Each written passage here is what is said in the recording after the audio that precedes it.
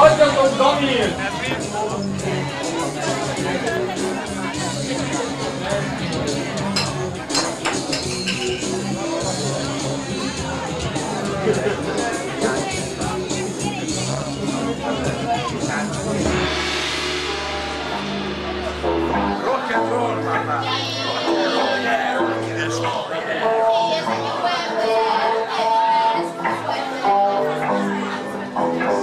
Ist die Müsler. Okay? Várjál, másodperc. Másodperc. Nyugati pályaudvar következik, ajtók jobb oldalon nyílnak.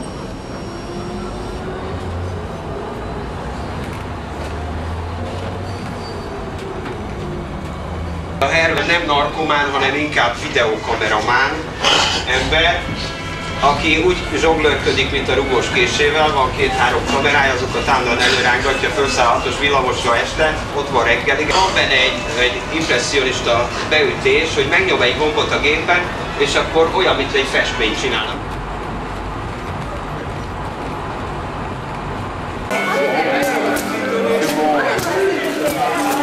Hol vagy már, gyere?